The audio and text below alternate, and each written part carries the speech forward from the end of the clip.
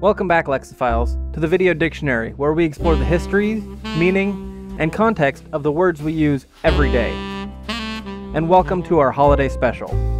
No, really, this is a special about the word holiday. Definition Holiday. Noun.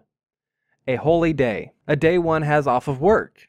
In British English, it also refers to a vacation. History and etymology. Holiday comes from the Old English haligdag, a compound of halig, meaning holy, and dag, meaning day.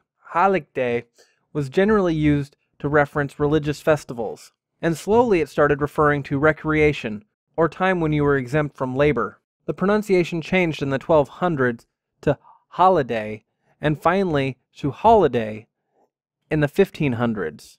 In the mid 19th century, happy holidays became a popular phrase in Britain referring to the time during summer vacation when kids are away from school and going on holiday in the British sense of the word. I was interested in the first time Happy Holidays was used to refer to the Christmas season, so I did a little digging. I was able to find some clippings of ad copy from newspapers as early as 1865 this one in particular expressly references Christmas gifts beneath Happy Holidays. But the term didn't become popular until 1937, when a similar phrase was used in a Camel cigarette ad.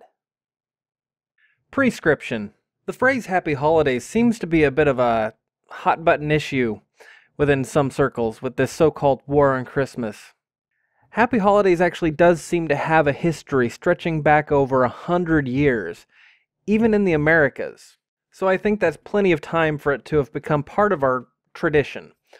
Now, where the real problem comes in is when people start trying to tell you you can't tell someone Merry Christmas or Happy Hanukkah.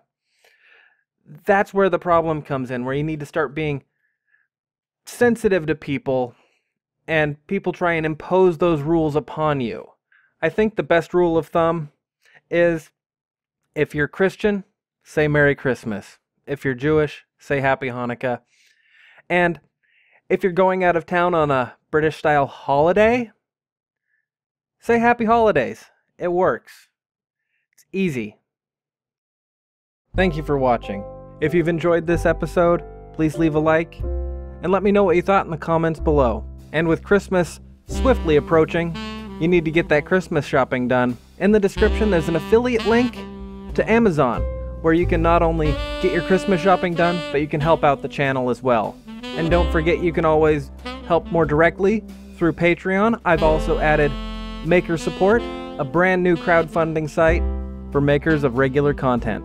And to all of you, Merry Christmas and Happy Holidays, whatever you celebrate.